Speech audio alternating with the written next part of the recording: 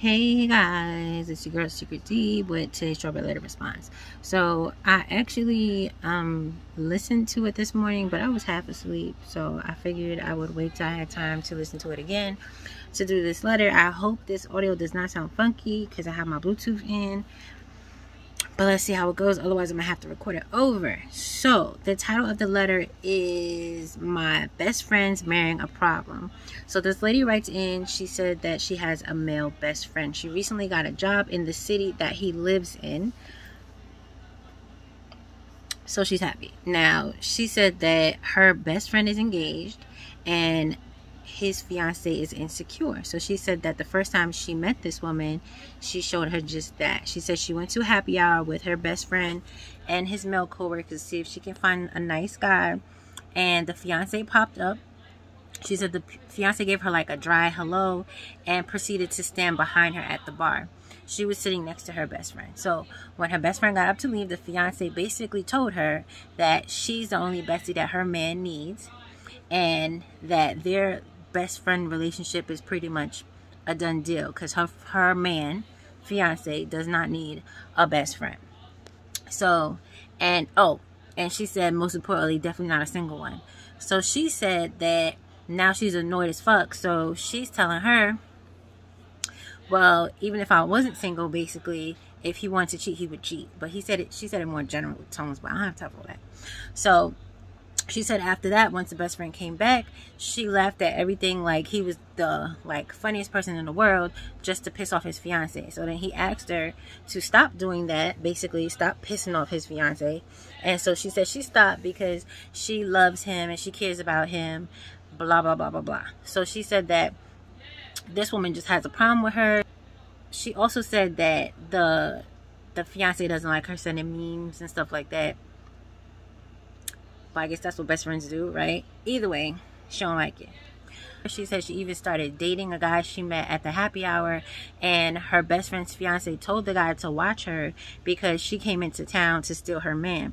So she said that's ridiculous because she never ever ever ever thought about her best friend in a sexual manner so she wouldn't even go there with with him. And so she was like, you know what, I'm done.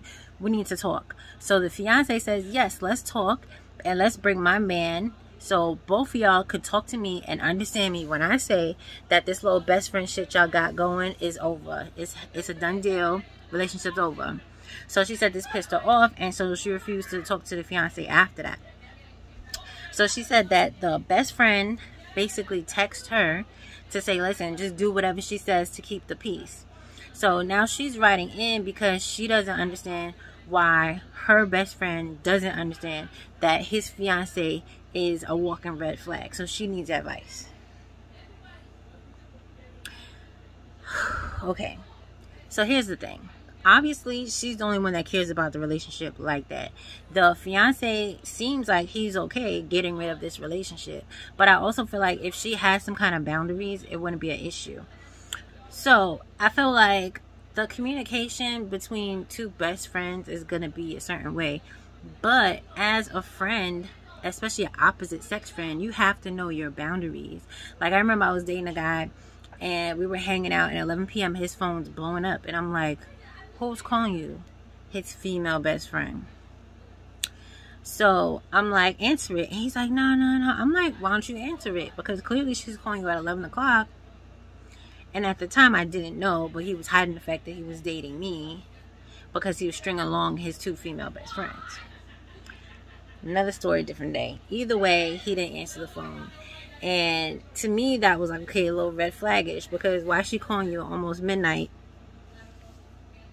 when you got a whole girlfriend? But then I found out that she didn't know he had a girlfriend because when she found out he had a girlfriend, which is me, she unfriended him on social media and she disappeared. Poof. That speaks volumes. Anyway, what I'm saying is when you have a best friend that's opposite sex, you need to maintain certain boundaries. I don't care if y'all used to be up talking at 3 o'clock in the morning. If they have a, a boyfriend, girlfriend, whatever, you don't need to be with this person after midnight. Probably after 10 p.m. You know what I mean? Like there's certain lines that you don't cross when someone's in a relationship out of respect for their relationship because my golden rule is you don't do anything to anybody that you wouldn't want them to do you and i sure as hell don't want my boyfriend, my man, my fiance hanging out with somebody after midnight or having drinks with somebody that's like he he, he.